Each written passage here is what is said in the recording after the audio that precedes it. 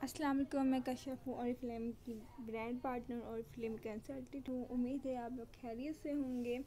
आज मैं आपको मिल्की हनी रेंज के बारे में बताऊँगी। सबसे पहले रिक्वेस्ट करूँगी, जो लोग न्यू हैं, मेरे चैनल को सब्सक्राइब कर लें ताकि मेरी जो भी न्यू वीडियो आए तो उन तक आसानी से पहुँच सके।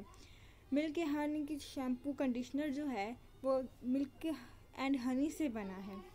ये ड्राई बालों को सूट करता है। डैमेज हेयर्स के लिए बेस्ट है। जो इनके बाल ऑयली है, वो ये शैम्पू ना यूज़ करें। इसका शैम्पू कंडीशनर यूज़ करने तीन महीने बाद आपको रिज़ल्ट मिलेगा।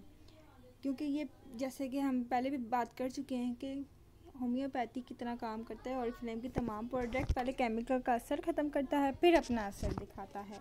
इसका कंडीशनर और शैम्पू ज़रूर यूज़ करें, जिनके बाल ड्राई हैं। उनको बाल जो है शाइन देगा, उनके बालों का कंडीशनर अलहदा करके दिखाएगा।